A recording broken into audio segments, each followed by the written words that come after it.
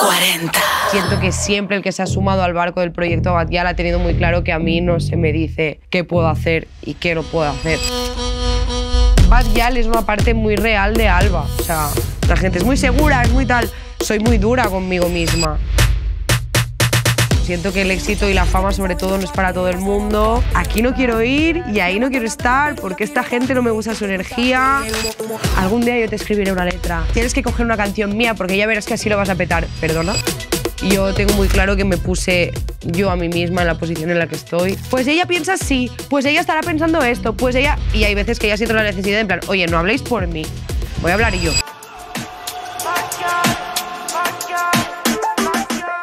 Bad es una parte muy real de Alba. O sea, yo antes de ser Bad ya era así, ya hablaba así, ya siempre he sido descarada, siempre he sido loquita, siempre me ha gustado bailar así, siempre, me ha siempre he sido presumida, siempre, ¿sabes? Son partes, rasgos de mi personalidad. Obviamente yo no comparto mi personalidad entera con toda la gente que me sigue y hay otras partes de Alba que son más personales, que son más íntimas y por las que la gente quizás no me conoce tanto, pero en realidad es esto. Bad Gyal es una parte muy importante de Alba.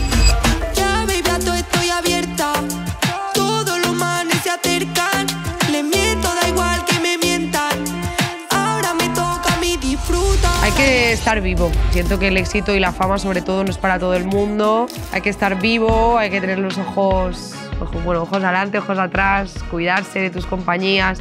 Bueno, al final mm, siento que soy bastante privada, bastante de mi gente, de siempre. Me cuesta confiar. No sé, soy mal pensada, en plan, no me estoy dejando muy bien, pero es real. Eh, y lo he sido siempre. Entonces siento que ya pues con... Yo desde que empecé, cuando llevaba dos o tres años, ya era como ya... Aquí no quiero ir y ahí no quiero estar porque esta gente no me gusta su energía y con esta gente no quiero hablar y este no me cae bien. O sea, estoy quedando muy mal, pero como que fui cerrando más mi círculo, que también mi familia y tal me dicen, ábrete más, conoce gente nueva. Y yo, ¿para qué quiero amigos nuevos? Yo a estas alturas de la vida, ¿no? Yo quiero mi gente de siempre y, y ya está. Pero siento que un poco eso, pues que cuando. Y mira que yo tampoco soy aquí Beyoncé, ¿sabes? Pero que sí que siento que cuando gana reconocimiento o fama, pues muchísima gente es normal. Al final le despierta un interés, conocer más de ti, estar cerca tuya, llegar a esa otra parte a la que quizás no llegas con la capa de fuera de una persona conocida, ¿no? Saber más. Lo entiendo, pero bueno, yo me cuido de eso. La nueva religión, Flow 2000. ¡Te queremos! Una religión. Diosa, reina. Esto es la entrada al cielo.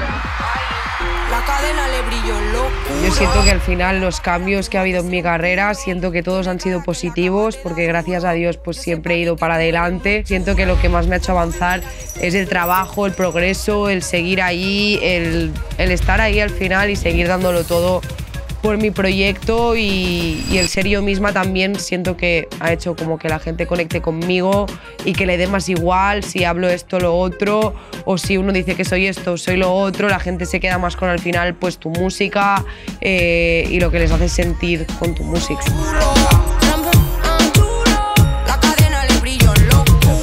proceso de creación y de escribir letras para mí es la parte más personal de todo este trabajo porque en todo lo demás siempre estás muy expuesto. Entonces el proceso de componer para mí es súper personal.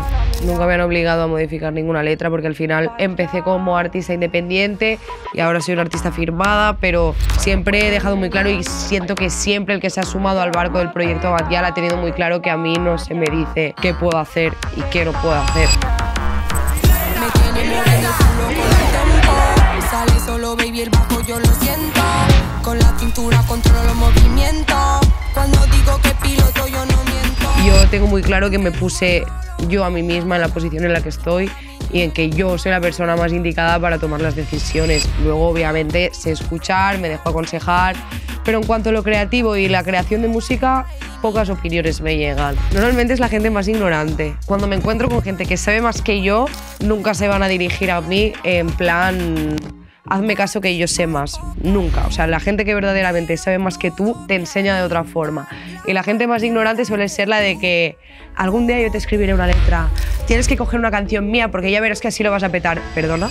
Que lo voy a petar, descubre cómo petarlo tú, porque yo ya, o sea, yo ya estoy arriba, arriba, ¿sabes? O sea, así me siento y cada vez voy a apostar por estar más arriba, siempre se puede hacer más, pero siempre es la gente más ignorante la que tiene el atrevimiento de dirigirse a una persona como mí y tratar de darme consejos, o sea, me da un poco la risa, ¿sabes? Con lo bien que me va, ¿tú crees que necesito algún tipo de, de tu ayuda? No sé. Soy muy segura de mí proyecto, de mí mm, como artista, de, pero yo soy una persona y todas las personas tenemos inseguridades y todas las personas pasamos por etapas y yo tengo etapas, ahora estoy en una etapa que me siento muy bien. Me siento segura, me siento entrando en un momento bonito, pero también he venido de una etapa más insegura, de una etapa en la que he dudado más de mí y en la que quizás tenía que pasar por eso, ¿sabes? Para poder ahora aprender de eso y ser más segura la próxima vez. O sea, al final todas, todos eh, sentimos inseguridades a veces por las circunstancias que nos rodean o por cosas que vienen de dentro nuestra. Entonces, no hay ninguna clave, no hay ningún secreto, sí que tratar de trabajar tu amor propio y valorarte y ver qué cosas de ti sí te gustan y ser como amable contigo mismo, porque yo a la vez... Eh, la gente es muy segura, es muy tal. Soy muy dura conmigo misma. También por eso creo que luego tengo, tengo resultados tan o me esfuerzo y las cosas me salen bien, pero porque a la vez soy muy dura conmigo misma. Entonces es ese balance, ese equilibrio. Desde que era pequeñita sentía que las cosas que más me interesaban eran creativas o artísticas y sobre todo, sobre todo la música. Se la quería dedicar a mi familia, que está viendo. Especialmente a mi abuelo Manolo a mi abuela Rosa. Desde pequeña me encantó cantar, bailar, entonces era algo como que siempre había tenido dentro de mí. Yo la primera vez que grabé, como suelo grabar ahora, encima de un beat, en un estudio con un micro, estaba ahí porque terminé ahí, no fue estaba con otra gente que estaba grabando, que era, era su estudio, que era como su, más su normalidad que la mía. Y ya en algún momento yo había escrito alguna letra o había eh, hecho mis cositas y las tenía en mi teléfono, pero nunca había pasado al paso de eh, grabarme ni, ni, ir un poco más allá. Y ese día pues terminé probando y me, me sorprendí de que se me daba muy bien y también me di cuenta que a la gente que estaba alrededor mía también le pareció que, que se me daba bien. Entonces pues ese es el recuerdo que tengo así como más marcado de como punto de inflexión también de un día de darme cuenta de yo puedo hacer esto.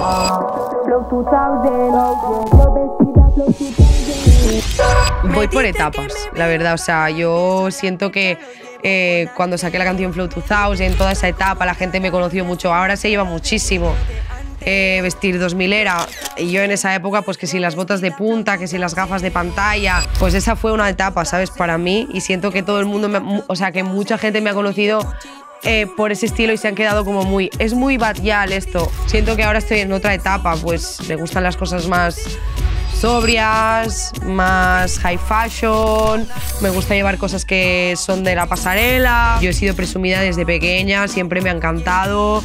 También lo he dicho muchas veces que me siento en un momento muy guay, estoy muy feliz porque el equipo que se encarga de, de manejar mi estilismo me hace sentir muy cómoda, me ha dado la oportunidad de poder llevar marcas que siempre había querido llevar, que siempre había admirado permitirme estar en Fashion Week, en desfiles, en sitios con los que yo cuando era pequeñita soñaba. Entonces, para mí es como una gran pasión y nunca es algo como de que, ah, qué pereza ponerme esto, qué pereza estar guapa. No, por favor, siempre. Eh, pero sí que es verdad que, obviamente, repito, soy una persona normal, en plan, hay días en los que me pongo una pinza en el pelo, me pongo un chándal y me bajo, ¿sabes? Ahora sí, siempre con mis gafitas de sol, mi gloss, o sea, en verdad soy una presumida y no, no le puedo hacer nada.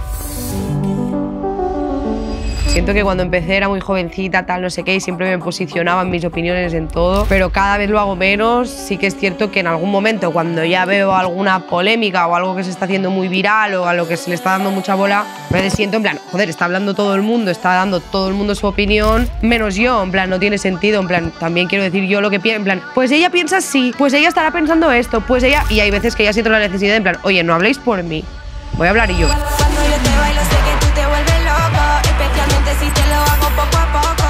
A mí me encanta lo que hago y también cada vez más me doy cuenta de que ojalá me cuide mucho y me dure mucho mi, mi salud física y demás para poder aguantar muchos años haciendo lo que hago, pero a la vez también me, me parece súper interesante, también me veo en algún punto de mi vida como componiendo para otros artistas, estando en el estudio, no soy productora, no toco los beats, pero también es una parte que me apasiona como decidir qué instrumento, cómo va a sonar, esto así, este tambor así, entonces creo que la composición de música es tan amplia, en plan, puedes entrar en tantas cosas y aprender y, seguir que, y me gusta tanto que, que, siento que larga vida, ¿sabes? Por eso.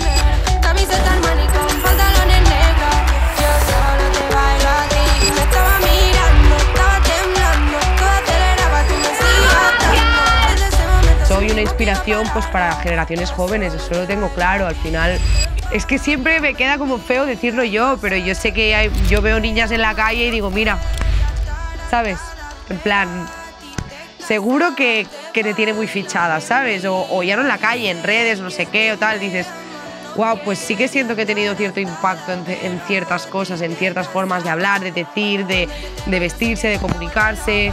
Entonces, pues, eso está guay parcial es una parte muy real de Alba. Y yo tengo muy claro que me puse yo a mí misma en la posición en la que estoy. La gente se queda más con al final lo que les hace sentir con tu música.